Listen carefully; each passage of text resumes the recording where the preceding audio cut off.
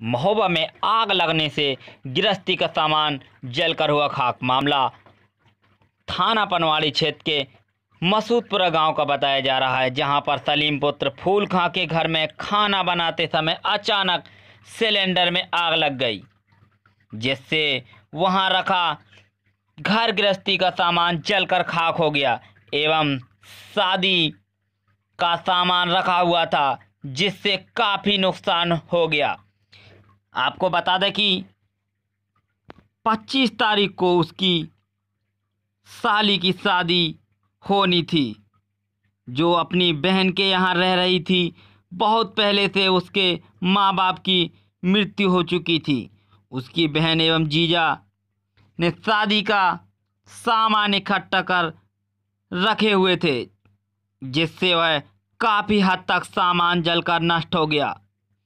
आग बुझाने के चक्कर में उसका भाई भी झुलस गया जिसको सीएससी पनवाड़ी में इलाज के लिए भर्ती कराया गया।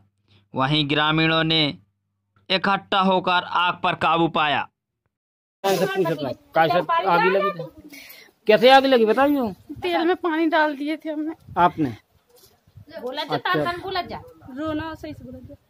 अच्छा आपके तेल के काय के रखो तो तेल. अचार रख रहे के लिए अचार रख रहे चूल्हे में रखी थी सिलेंडर में? सिलेंडर में चूल्हे में रखे बंद कर दिए आग जल रही थी थोड़ी थोड़ी उसमें पानी डाल दिए तो ज़्यादा जलने लगी फिर एकदम से। अच्छा अच्छा। तो भपक गई एकदम से आगे ऊपर को चढ़ने लगी।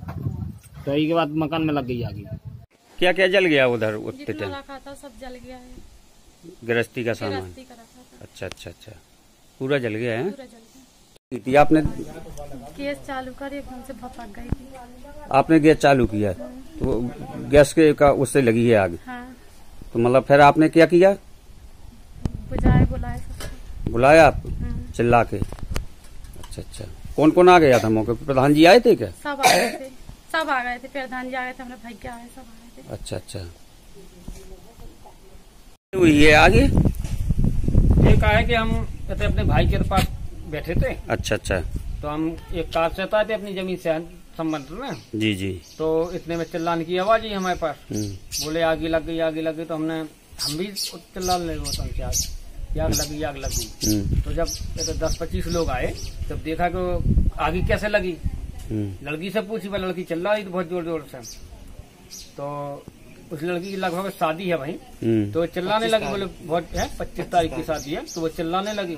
कि हमारे तो आगे लग गई आगे लग गई तो बोले मैनू कैसे लग गई आगे? तो बोले सिलेंडर से आगे लगे तो कोई बजाय वाला ना तुम तभी इनके इनके भाई है। हम्म, तो इसके भाई ने बहुत बड़ी हिम्मत करके हम्म, वो सिलेंडर को खोल हम्म, और बाहर फेंक दिया। अच्छा तो अच्छा। इसका भाई आया बोले मैंने सिलेंडर फेंक दो बोले आग बुझा दो।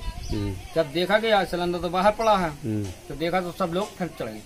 अच्छा अच्छा। हाँ तो उनका लगभग क्षति तो बहुत ज़्यादा हो गई लगभग में उनके सामग्री को खाना पीना की सामग्री है जो। हम्म, हम्म। राशन वासन है वो सब जल के लगभग शादी शादी कब की है बिटिया इसी बिटिया की थी? मोहनम मोहनम घर से आ रहे हैं मोहनम परिवार से अच्छा अच्छा अच्छा। हाँ तो पच्चीस तारीख में शादी है। अच्छा अच्छा। हम्म, तो इस गाँव वालों की और परा वालों की बहुत बड़ा सहयोग रहा। अच्छा उन अच्छा। लोगों ने आग अपने आग में काबू पा लिया। अच्छा अच्छा।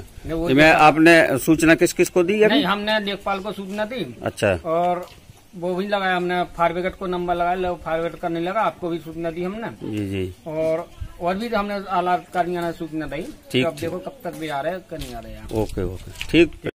महोबा से यूपी ट्वेंटी फोर न्यूज़ के लिए संतोष कौशिक की रिपोर्ट।